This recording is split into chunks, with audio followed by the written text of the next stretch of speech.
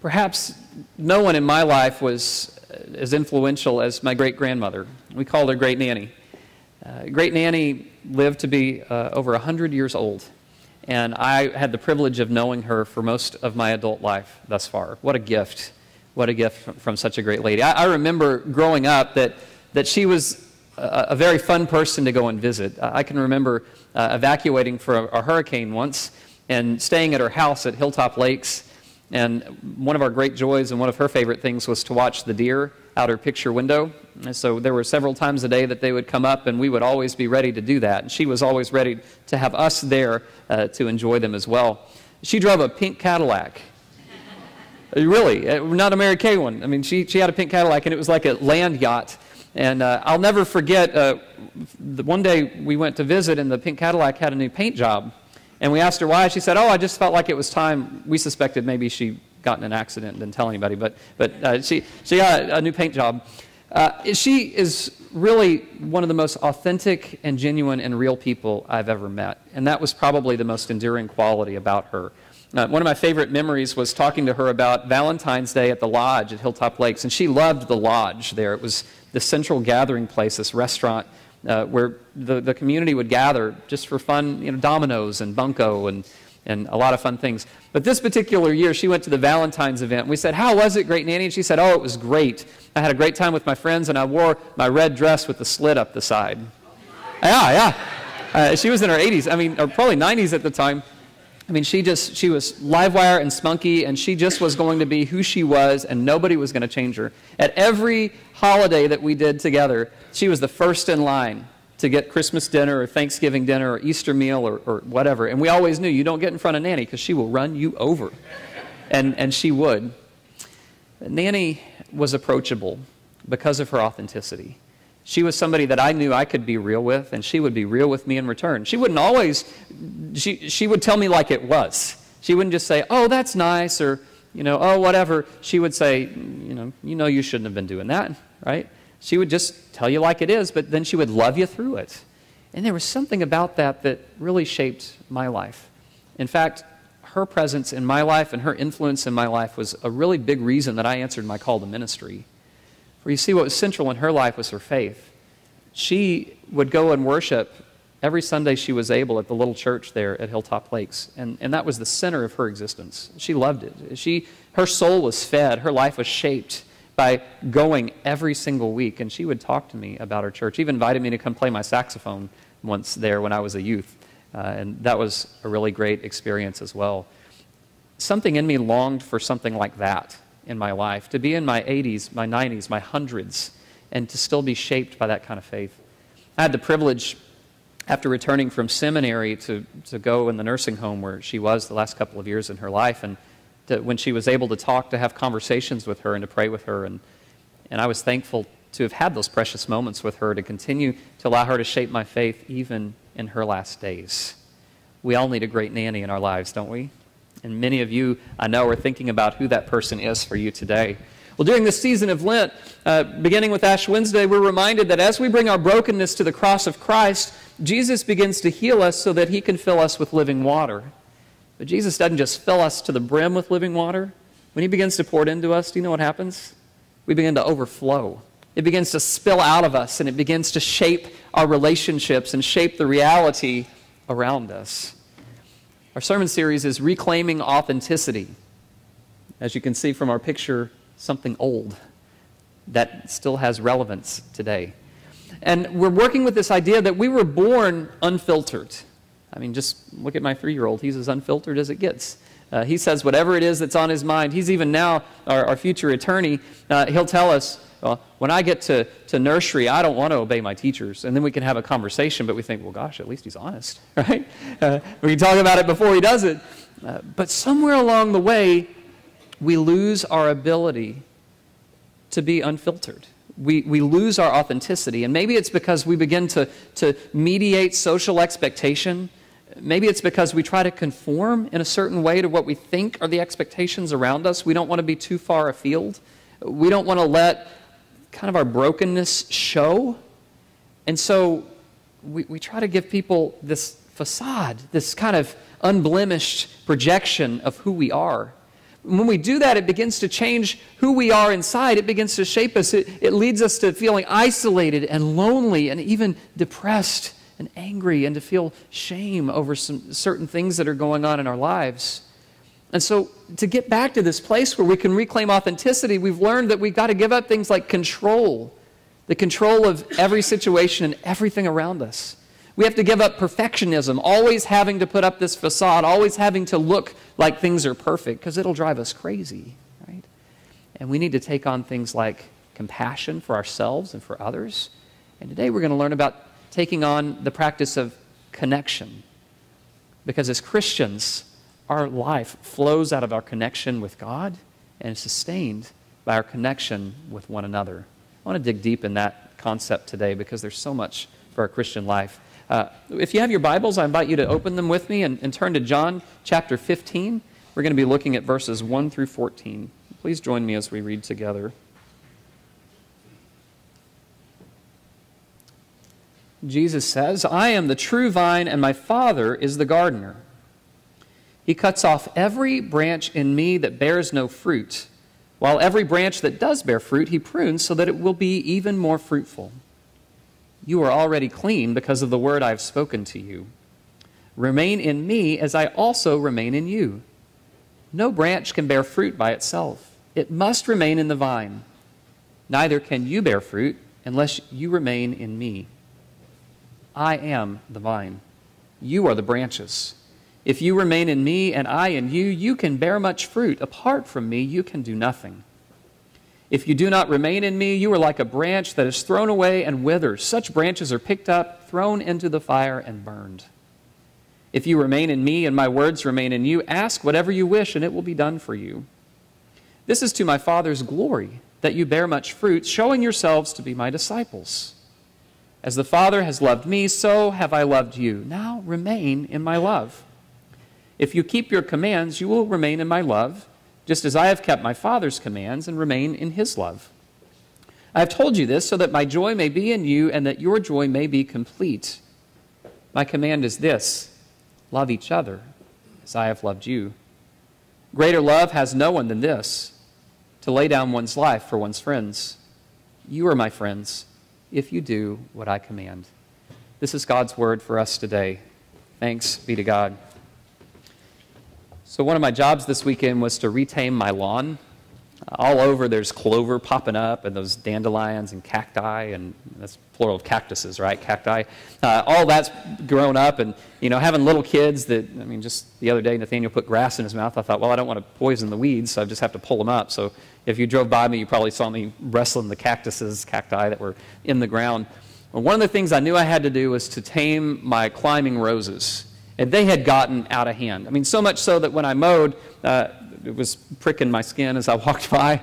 I thought, I've got to do something about this. I mean, they got all mangled and tangled, and they had grown up. a couple of the canes had grown up over the fence and were kind of waving at the neighbors across the fence.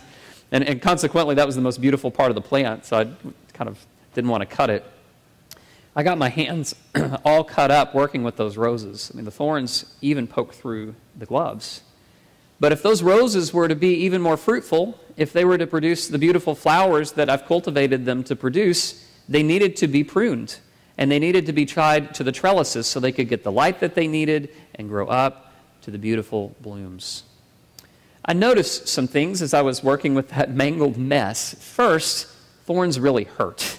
Uh, second, uh, some of the canes had grown so heavy that they had snapped off and failed to receive life from the vine. And so they withered and died.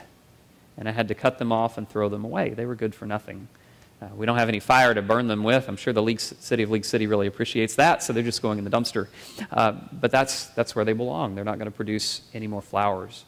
But in cultivating those plants, I realized something else that some of the branches were holding other branches up that otherwise would have sagged and snapped. And I realized that with all of our thorns and with all of our brokenness and with all of our troubles in this life, sometimes we need one another to hold each other up, don't we? Sometimes that's how we stay connected to the vine. And that's what we're talking about today this importance of connection.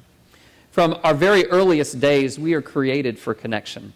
I can remember being with Gabriel, our son, who's seven months old when he was born. And in the hospital, the day after he was born, I had him in my lap and I was talking to him and interacting with him. And he would stick out his tongue a little bit, like that. And then I would stick out my tongue at him. And then I would wait, and he, you could see the gears were turning, as they do in a one day old infant. And then he would go, stick out his tongue back at me. From the very first day of his life, he began to interact. It didn't take long before he was interacting with smiling. I would smile at him, and then he would smile back. Now it's gotten to the place, it grew to where if we're talking to our three year old, or Rachel and I are talking to each other at the table, Gabriel will go, ah, ah, ah, you know, his cutest sounds that he can make in order to get our attention and to direct it toward him. We, something in us innately craves connection. It innately craves connection. Now, Brene Brown defines connection this way. Uh, she's a researcher at the University of Houston. She's a social worker. But she looks at vulnerability and is trying to get at this place where, where we live so far apart that we've gotten to a place in our society where you know, we're right and everybody else is wrong, it seems, and it's hard to come to the middle. And so she's dedicated her life to trying to figure out how to get us to turn toward each other and take some steps uh, toward the center again so we can relate. And she says that connection is the place where we feel valued, where we feel heard and understood and loved, that gives us energy and strength to live our life. Have you felt that sense of true connection? That sense where you're truly heard and understood and valued and loved, where you get the strength and energy to live out your life. That's something that we all innately need. I pray that Gabriel and Nathaniel get that from us now as little children. But when they turn 12, 13, 14, 25, 30, I pray that they'll still continue to seek that out. I hope they, they know that they can find it in us, but I hope that they seek out a few people in their lives that they can truly be open and vulnerable with, like my great nanny, because I, I'm very grateful for her. But connectedness for us as Christians starts with connection to the vine. We have to stay connected to Jesus in order to, to properly connect with one another. And an important distinction for us is, is staying connected to God isn't just showing up once a week. And it's not just praying when things get tough but it's an ongoing daily walk with God. I love Exodus 33. It talks about Moses conversing with God face to face as a friend would with a friend. I want that kind of connection to God. Don't you? Where God, you don't only talk to God in that way without the walls built up, but you hear God speaking back to your soul and shaping you. Wouldn't that be your desire to get there? to talk with God as friend would with a friend. And what's interesting as you continue to read the scriptures, the people were actually frightened when Moses came out of the tent after meeting with God because his face was radiant. I don't want you to frighten anybody, certainly. But wouldn't it be great if others saw the fruit of your faith in that way? The fruit of a radiant relationship with God? I think that's the goal. And we can get there. Because you see, connection with the vine, connection with Jesus Christ begins with three things worship, study, and prayer. Now, at first, those three things seem so obvious, right? Well, here's another sermon about spiritual practices, but it's so very true. Worship opens us up, opens the line of communication up with God. And very often, you come into worship and you don't feel like worshiping. Sometimes things might have gone royally wrong during your week. I mean, you may be coming off of a job loss or uh, have a sick relative or worried about something or, or just not feeling it. But when you come with the regular discipline to give God thanks and praise, all of a sudden your spirits are lifted and you begin to see God, you were working behind the scenes all along. And you begin to leave saying, I'm going to live a life of gratitude in the week ahead. Worship, it, it changes everything. And I, I can't emphasize enough that in this day and age where, where folks are coming to worship one day a week, your soul is going to become parched and your, your branch is going to begin sagging, right? You need that ongoing uh, relationship with God week in and week out. But second, you need study. And study for us is not an intellectual exercise. I mean, it's great to know facts and figures. It, is. Dig into the Word, get as much out of it as you can. That part is important. Greek and Hebrew word study are also important because it helps you enter into the world in which the text was written. Do all of those things. But when you read for connection, you've got to read with the eyes of your heart opened. You've got to have your ears uh, ready to receive a word from God. You've got to read the scripture with an eye toward what it is saying to you in your life, in what you are going through in that moment. To read it and ask the question God, what does this tell me about your relationship with me? What does this scripture teach me about God and who I am in Jesus Christ? And then pray God, thank you for shaping me and filling me with your word. Help me to follow you faithfully all the days of my life. You've got to do the head work, certainly, so that in those times that you're devoting and having your personal worship time with God, you can do the hard heart work as well. The third way you stay connected to the vine is through prayer. And at first glance, you go, well, yeah, but prayer in maybe a different way than we're used to doing it.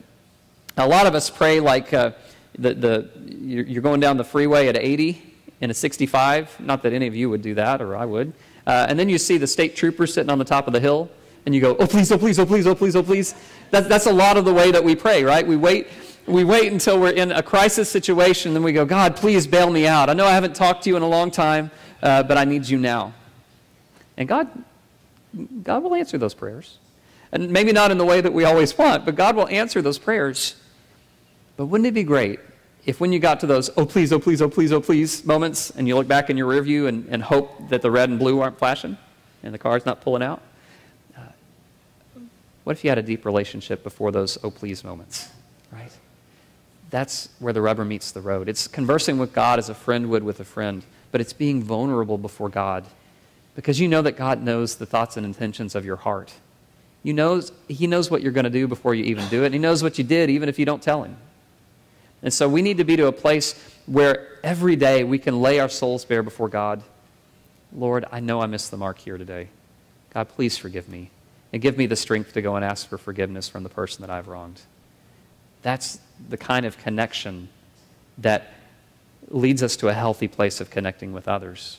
But it has to start with that kind of honest confession daily before God. I want to ask you in this moment how are you doing at confessing your sins before God? Are, are you taking the time every day to do that? I'm not talking a laundry list and beating yourself up, but I'm, I'm saying that, that that's how we grow, right? The first step is admitting that you have places that you want to go and places that you've missed the mark. Look closely at that because the goal is, is service. Because remember, when we bring our brokenness to the cross of Christ, Jesus mends us and heals us so that we can overflow with living water. Here's where the rubber meets the road. We love to help other people.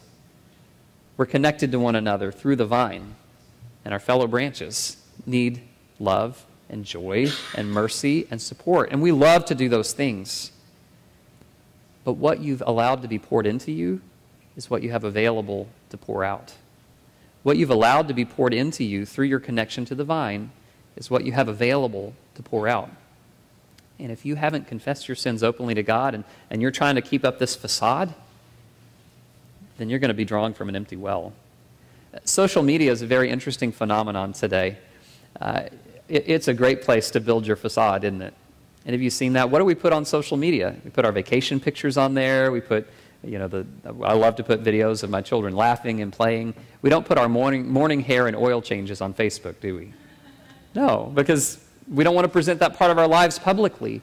And then when we watch for likes, and now with these smartphones, your system tray gets every, every time somebody likes, you go, ooh, you know, or somebody commented on your, your post, you go, oh, I want to see what they said. And you get a little dopamine shot in your brain.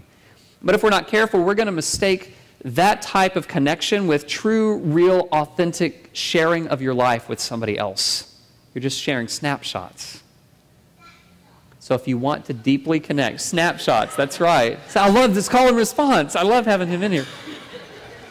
And so if you truly want to get to a place where you're being poured into so you'll have something substantive to pull out, starts with confession to God, but it starts with having a great nanny in your life.